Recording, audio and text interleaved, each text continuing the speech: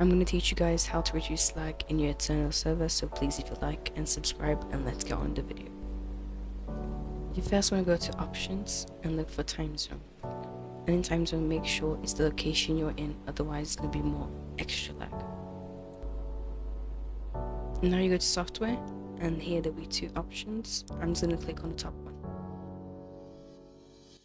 Here you choose the version you want. I'm going to click on 1.20.1 and install that.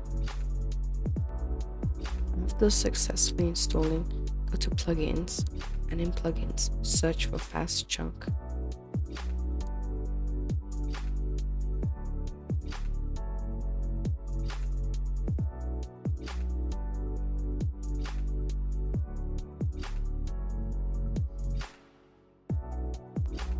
Now just search for clear lag and I'm just going to press on the first option.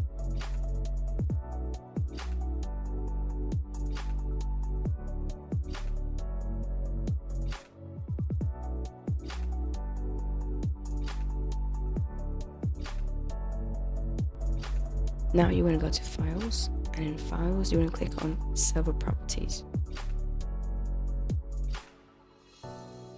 Here search for view distance and simulation distance and just put it down to the minimum which is free and that should help you with lag. And feel free to change anything else while you're here.